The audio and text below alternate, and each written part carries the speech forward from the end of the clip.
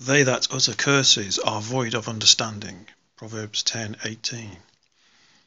For we are set forth in a parable, by the example of the bee, as the Lord says, Go to the bee and learn how she works.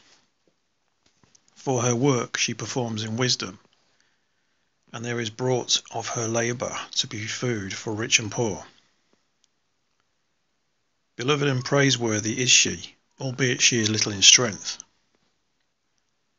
As then the bee is little in strength, and when she has stung a man she loses her sting, and becomes barren and presently dies, so also we the faithful in like manner.